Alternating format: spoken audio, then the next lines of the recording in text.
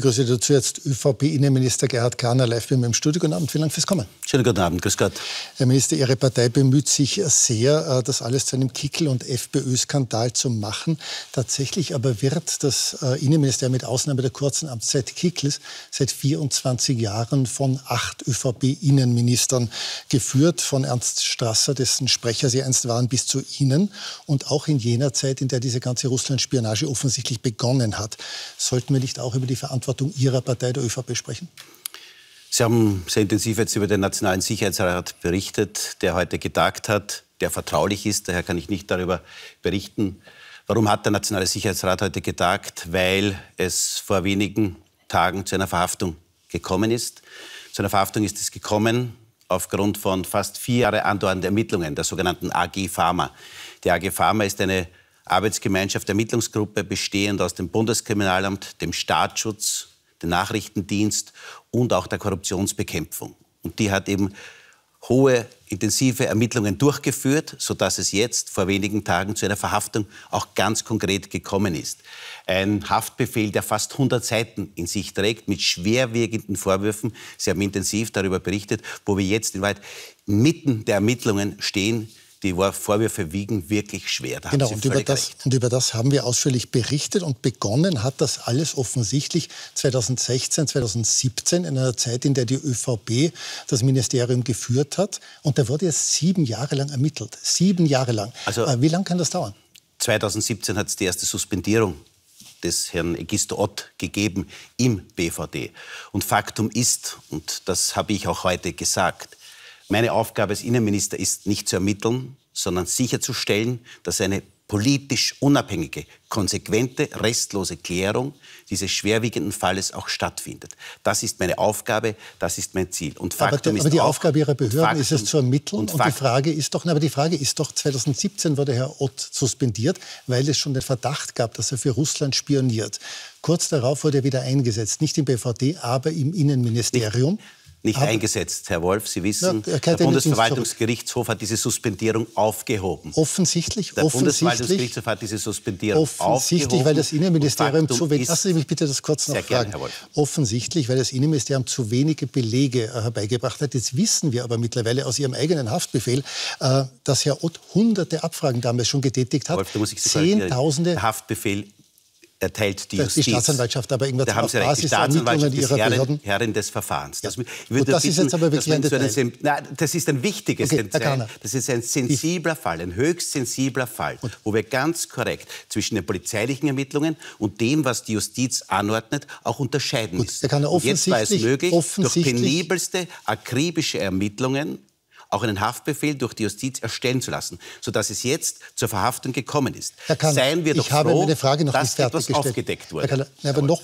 das hat aber sehr, sehr lange gedauert, bis das aufgedeckt wurde, weil Herr Ott hat offensichtlich schon 2016, 2017 hunderte illegale Abfragen gemacht, hat Zehntausende Euro dafür bekommen äh, und trotzdem haben Ihre Behörden oder die Behörden Ihrer Vorgänger äh, nicht genügend Belege offenbar herbeigebracht, damit man ihn dauerhaft suspendieren kann. Wie ist denn das möglich? Sie haben völlig recht. Es gibt sehr viele Vorwürfe. Und viele davon werden jetzt aufgedeckt. Und der Herr Bundespräsident hat heute gesagt, seien wir doch froh, dass etwas aufgedeckt wurde. Jetzt ist es Aufgabe der Staatsanwaltschaft in enger Abstimmung mit der AG Pharma, das ist diese, dieser Name dieser äh, Ermittlungsgruppe im Bundeskriminalamt, dass diese Dinge restlos und lückenlos konsequent aufgeklärt werden. 2017 Suspendierung, jetzt Verhaftung. Das sieben Jahre dazwischen. Ja, er wurde auch sehr rasch suspendiert. Aber er hat trotzdem ja, weitergemacht. dazwischen hat Im es Innenministerium.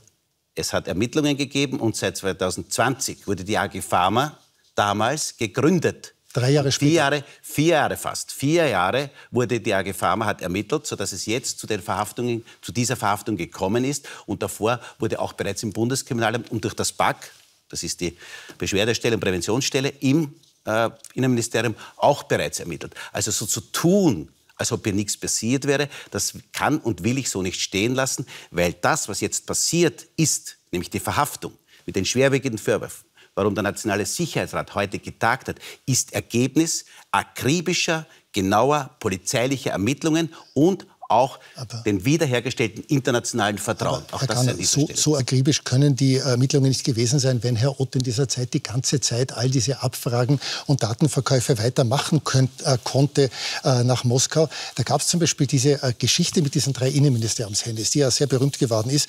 Äh, nur damit man es nochmal versteht, da gab es einen Bootsausflug im Juli 2017 äh, und da war die Pressesprecherin des damaligen Innenministers Sobotka mit Spitzenbeamten in einem Boot. Das Boot hat gewackelt, die Spitzenbeamten mit ihren Handys sind ins Wasser gefallen äh, und einer dieser Spitzenbeamten war der heutige Polizeidirektor Takac. Und der ist dann mit den drei Handys, die nass waren, am Dienstweg vorbei ins Bundesamt für Verfassungsschutz marschiert, um die Handys zu retten.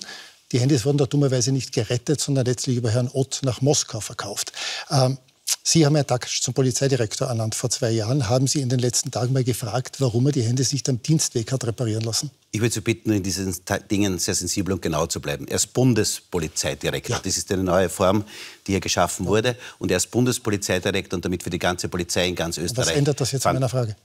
Weil das sein Titel ist. Ja. Sein Titel aber ist Bundespolizeidirektor. Meine Frage ist, ja. Sie, Herrn ich würde Sie bitten, Sie bestehen darauf, genau aber zu sein, daher bestehe ich auch darauf, genau zu sein in diesen Fragen. Und Faktum ist, und da bitte ich Sie wirklich, in dieser sensiblen Frage nicht eine Täter-Opfer-Umkehr zu tun. Faktum ist, dass es hier durch diesen Egisterort offensichtlich, und ich sage offensichtlich, weil es Gegenstand von Ermittlungen ist, offensichtlich hohe kriminelle Energie gab. Ja, aber ich bin nicht bereit, dass man hier versucht, dass manche den Spieß versuchen umzudrehen. Aber Herr Kahn, das versuche ich das gar nicht. nicht aber das versuche ich weil die Behörden akribisch und genau ermittelt aber das, haben. Aber Herr Kahn, das Dingen. haben Sie jetzt schon sehr häufig gesagt. Meine Frage weil war, auch stimmt, haben Sie Herrn Dakatsch, den höchstrangigen oder einer der höchstrangigen Polizisten im Land, gefragt in den letzten Tagen, warum er damals diese sehr sensiblen Handys am Dienstweg vorbei ins BVD gebracht hat, wo sie dann verschwunden sind? Sie werden jetzt sagen, ich wiederhole wieder etwas und das tue ich gerne. Fast 100 Seiten ist dieser Haftbefehl lang.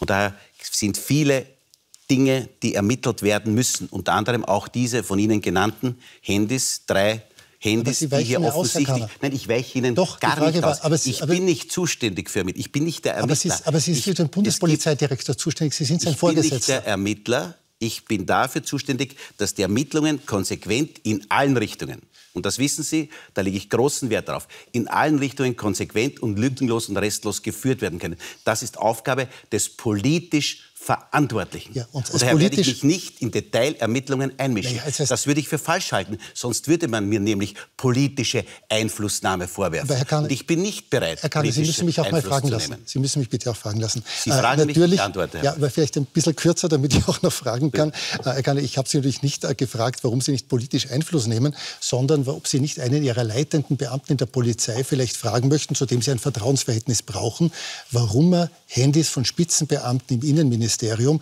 nicht am Dienstweg äh, reparieren lässt, sondern sie am Dienstweg vorbei zu irgendjemandem im BVD bringt, der sie dann verschwinden lässt, Richtung Moskau. Also ich würde Sie wirklich bitten, Herr Wolf, hier nicht eine Täter-Opfer-Umkehr zu machen. Aber Sie können das, doch meine Frage darauf bestehe ich. Darauf bestehe ich. Und nochmal, ich bespreche nicht Ermittlungen im Detail mit dem Sie Beamten. Das ist nicht meine Aufgabe. Und wenn hier welche Handys weitergegeben worden sind, dann die offensicht, das offensichtlich passiert ist, durch den Herrn Ott. Das ist offensichtlich Stand der Ermittlungen.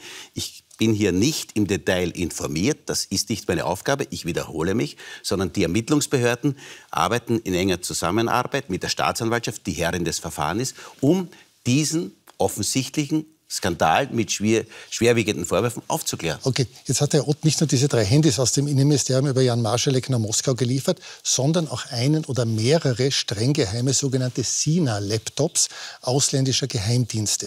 Äh, wissen Sie mittlerweile, wie viele Laptops da gestohlen wurden, aus welchen Ländern und wie sie zu Herrn Ott kamen? Herr Wolf, hohe kriminelle Energie in diesem Fall. Das wurde in den letzten Tagen massiv bekannt. Sie wissen, ich bin Innenminister und nicht der oberste Ermittler in dieser Frage. Leiter des Ermittlungsverfahrens ist die Staatsanwaltschaft in Wien, die Aufträge zu den Ermittlungen auch gibt. Und die ist Herrin des Verfahrens. Ja. Und die Polizei ermittelt hier mit vollem Nachdruck, da, mit aller Konsequenz. Und daher werde ich nicht im Detail über einzelne Ermittlungsschritte das informiert. Ich, das, das ist nicht meine Aufgabe, das, das wissen Sie sehr ich. genau, Herr Wolf. Aber ich, danach habe ich Sie gar nicht gefragt. Ich habe Sie gefragt, ob Sie schon wissen, wie viele von diesen Computern verschwunden sind, wo die herkamen. Wie gesagt, es kommen praktisch stündlich durch mediale Berichterstattung weil ja viele Menschen auch Akteneinsicht haben, stündlich irgendwelche neuen Details ans Tageslicht. Das sind offensichtlich Details aus den Ermittlungen. Und wie gesagt, ich bin nicht bereit, aus den Ermittlungen Details bekannt okay. zu geben, weil man mir sonst, und ich bleibe dabei, sonst politische Einflussnahme vorwerfen würde. Und dazu bin ich nicht bereit. Wissen Sie, woher diese Sina-Laptops kamen und können es noch nicht sagen oder wissen Sie es nicht? Ich werde Ihnen keine Details zu Ermittlungen okay. sagen. Okay, äh, jetzt äh, ist, sagen Sie. Das ist. Das, aber das bitte, hatten wir jetzt schon. Herr Herr Garde, ich muss auf die Zeit schauen. Das hatten wir jetzt wirklich schon ein Dutzend Mal. Herr Garde, es geht hier um den Staatsschutz und Nachrichtendienst, ja, um schwere Vorwürfe der Spionage gegenüber Österreich, gegen Herr, Geheimnisverrat Herr Garde, gegenüber das haben wir alles berichtet. Ich würde gerne eine Frage stellen. Und der DSN, ich möchte Ihnen das nur sagen, das ist wichtig auch für die Zuseher. Direktion Staatsschutz und Nachrichtendienst. Damit diese erfolgreich arbeiten kann, bedarf sie internationale Kontakte. Und die hat sie jetzt wieder, diese internationalen Kontakte, diese internationale Vernetzung, weil sie sich auf die Vertraulichkeit auch verlassen kann. Und nicht das passiert ist, was offensichtlich Teil der Ermittlungen ist, nämlich dass hier Spionage betrieben wurde durch einen Handlanger aus Österreich. Hm. Jetzt machen Sie ja Herrn Kickel dafür verantwortlich, der 18 Monate lang Innenminister war. Aber Herr Kickel war ja nicht ganz allein im Innenministerium. Er hatte eine Staatssekretärin aus der ÖVP, Frau Edstadler. Wenn das alles so arg war, wie Sie sagen, hat Frau Edstadler von dem nichts mitbekommen? Auch da würde ich Sie bitten, dass Sie mich korrekt zitieren.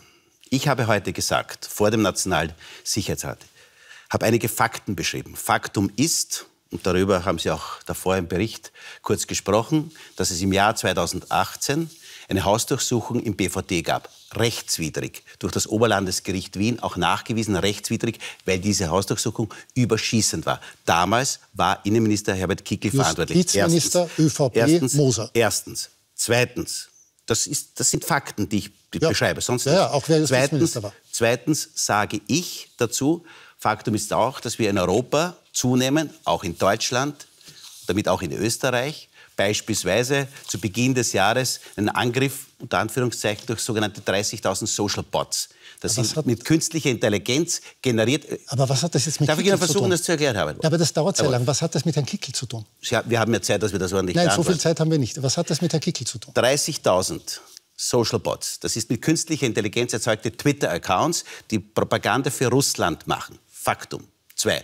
Faktum drei ist auch, dass es eine einzige Partei in Österreich gibt, nämlich die FPÖ, die einen Freundschaftsvertrag mit der Partei Putins mit der Partei Russlands hat. Das sind die Fakten, die ich heute gesagt habe. Darf ich noch ein nicht Faktum mehr, ergänzen, Herr Kahner? Lassen Sie mich bitte weniger. noch ein Faktum ergänzen. Dieser Freundschaftsvertrag stammt aus dem Jahr 2016 und Ende 2017 hat ÖVP-Bundeskanzler Kurz Herrn Kickel zum Chef des Innenministeriums und damit des Verfassungsschutzes gemacht und Herrn Kunasek zum Chef des Verteidigungsministeriums und damit zum Chef der beiden anderen Geheimdienste in Österreich gemacht.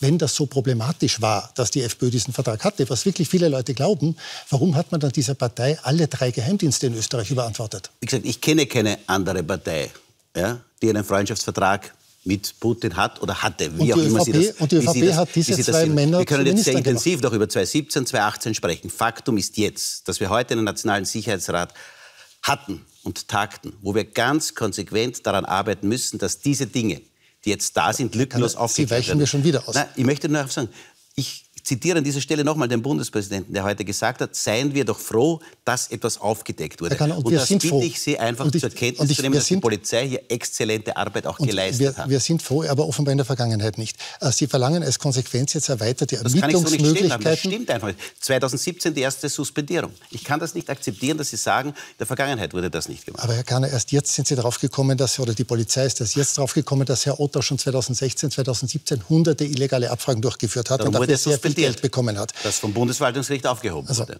Äh, jetzt verlangen Sie als Konsequenz erweiterte Ermittlungsmöglichkeiten für den Staatsschutz und für die Polizei, aber diese Abhörmöglichkeiten hätten an diesem Skandal ja überhaupt nichts verhindert.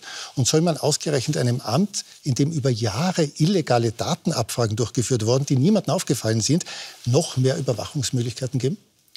Also ich bin etwas überrascht, dass Sie so genau in die Ermittlungen eingebunden sind, dass Sie sagen, die neuen möglichen modernen Methoden, zeitgemäßen Methoden der Internettelefonieüberwachung hätten nichts gebracht. Die Ermittler aus unserem Ressort sagen, sehr wohl wäre das wichtig und notwendig, gerade um Spionage abzuwehren, um Terror zu verhindern, weil das eben die neuen Techniken sind, die heute Standard letztendlich sind, auch bei anderen internationalen Diensten.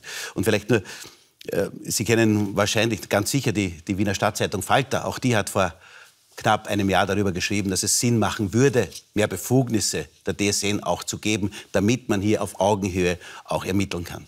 Letzte Frage noch. Haben Sie nicht ein dringenderes anderes Problem äh, im DSN? Äh, nämlich dort kümmern sich auch, berichtet die Stadtzeitung Falter, nur fünf Beamte um russische Spionage in Österreich.